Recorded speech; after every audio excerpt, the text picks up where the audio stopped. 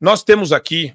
Uh, eu quero colocar, eu não aguento, eu preciso colocar só para ouvir vocês. Eu quero só ouvir o que, que vocês acham dessa entrevista é, da Thaís Carla. E se tem alguma questão psicológica, Adriles, que deve ser objeto de análise. Eu quero, eu quero ouvir primeiro o Adriles.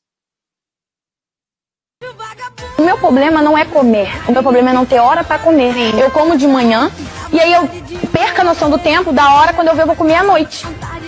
Não é questão, minha gordura não é questão de comer. É do meu metabolismo, tipo assim, ser estagnado, de, por, por ele estar tá confuso, cara, quando é que ela vai receber comida? Ele acaba fazendo uma Adrilles Jorge, pode parecer piada, pode parecer uma pauta que veio do além, entregue por um alienígena, mas por que que o problema é maior do que a troça que a gente quer fazer?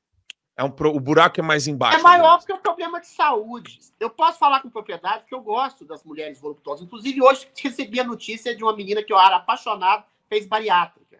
Nem era tão gorda. A Thais Carla é mitadinha, não posso dizer, mas é, ela é uma gorda feia, ela engorda nas partes erradas. Anatomia é destino. Tem mulher que engorda nos quadris, nas pernas, nos seios. Ela engorda como um todo, parece uma bola. Agora, é uma questão de saúde pública, por quê? Porque obesidade pode, infelizmente, levar a doenças, quer dizer, leva a doenças e pode levar à morte. E ela mente. Ela mente. Eu como de manhã e depois como. Mentira. Mentira. A gente está falando de nazismo aqui, a gente está falando de um assunto tão pesado. Por exemplo, você não vai ver num campo de concentração uma pessoa gorda. Por quê? Porque eles passavam fome. Ah, porque eu tenho uh, hipotireoidismo, eu engordo. Não, se você não come, você não engorda. Não tem jeito. É uma coisa assim, meio tautológica, meio óbvia, né? E ela mente. E quando você mente para si mesmo que a gordura é simplesmente uma questão uh, que é, é, é, referente ao seu metabolismo, é referente ao seu humor, não, é porque você come. É porque você come muito. E a Thais Carla, infelizmente, ela come bastante. Eu até sou, sou crítico também das pessoas que comem pouco, essa moda de anorexia, que até ontem vigia, e ainda vigia em grande parte, sobretudo nos pontos frequentados pelo Marco Antônio da aristocracia paulistana, as mulheres, tem umas delas que não podem doar sangue. Por quê? Literalmente, não pesam 50 quilos. Mulher de 1,90m pesa 50 quilos. Imagina, é uma anoréxica, é horrível. Então, assim, se você come pouco ou você come muito, você vai ter consequências. E a Thais Carla, quem acredita que ela come pouco, meu querido, acredita no Lula, que o Lula também não é antissemita, né? E daí você, você vê que é, é um problema sério que deveria ser enfrentado. A pessoa é, que enfrenta o problema da obesidade mórbida, ela deveria se ajudar e deveria buscar ajuda. E a ajuda não é você bater nas costas dela e falar: você tá ótima, você tá linda, você tá empoderada, você é uma mulher maravilhosa, beleza relativa ajudar essa pessoa a não morrer cedo é você oferecer um caminho para ela onde ela consiga enfrentar o vício. E ela, é o vício de comer muito. O problema que pode ser uma, um problema psicológico, inclusive, psiquiátrico. Não é, exatamente. As pessoas acham engraçado quando a gente fala do vício em comida, mas é verdade, é literalmente isso, é vício em comida.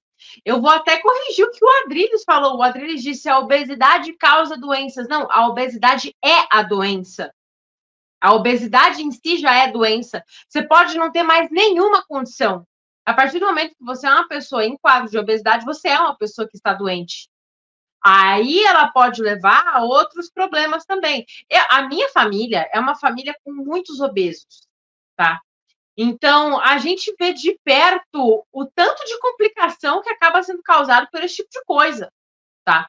É problema na coluna, é problema no joelho, é problema no pescoço, é infinitos problemas, é problema cardíaco, é problema respiratório, é muito problema.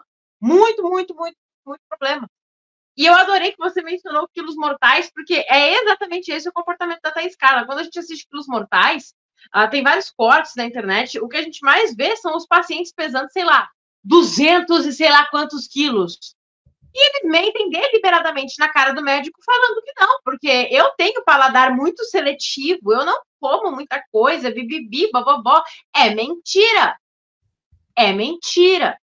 Até gente que não é obeso, mas tem ali uma certa pança, a gente acaba mentindo pra gente mesmo de vez em quando que não, porque eu não tô comendo muito, não, porque eu tomo refri, mas eu só tomo refri sem açúcar e tudo mais. E você imagina quando a pessoa chega nesse tamanho. Então, assim, ai, amor próprio. Amor próprio é um conceito esquisitíssimo. tá? Porque é, é, muito esquisito. Porque o amor próprio, todo mundo que fala de amor próprio tem algum problema e está acomodado com esse problema, certo? Todo mundo que fala muito sobre isso. Que é o caso não só da Thaís, mas como qualquer outra dessas influenciadoras gordas, né? E eu uso o termo gorda porque elas mesmas usam o termo gorda, tá? Então eu não vou ficar dando rodeios aqui. Elas falam de amor próprio, só que, cara, você tá odiando o seu corpo, você não tá se amando, você tá se matando. Cada dia que passa, você tá mais próximo de um infarto. Cada dia que passa, você tá mais próximo de romper um ligamento descendo do carro. Diabetes. Sei lá, pegando sacolinha do mercado. Não é fazendo é. coisas, piruetas circenses, não. É fazendo coisas básicas que você perde a capacidade de fazer. É perder a capacidade de subir uma escada. Tá? É bizarro. Então, é muito triste. Só que deixa de ser triste a partir do momento em que ela sabe a condição que ela está e ela tenta glorificar isso. Quando a gente vê uma pessoa que realmente passa por um problema de saúde desse, que está enfrentando todo aquela, aquele processo dificílimo de perda de peso para sair dessa situação, todo mundo demonstra solidariedade.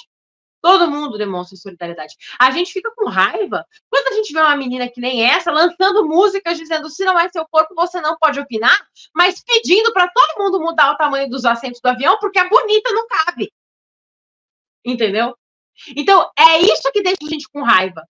São pessoas desleixadas com a própria saúde, que não têm um pingo de amor próprio, embora elas digam que elas tenham, porque se elas tivessem, elas estariam se cuidando. E elas querem que a sociedade inteira mude todos os padrões não só padrões de comportamento, mas padrões de estrutura mesmo, de infraestrutura, para que elas caibam na cadeirinha, para que elas fiquem confortáveis. Sendo é, que, sinceramente, e... é o oposto. Não é o é. mundo que tem que se adaptar a vocês, são vocês que têm que se adaptar ao mundo. Para você ter acesso ao conteúdo integral do Fio Diário, é fundamental que você assine agora a plataforma e aproveite as condições que a gente tem promocionais para você ter todos os acessos aos programas. Adrilho sobre tudo, Marco Antônio em Direita, além do ponto G, entrevistas com personalidades nacionais e internacionais, óbvio, show da manhã e várias outras atrações do Fio Diário.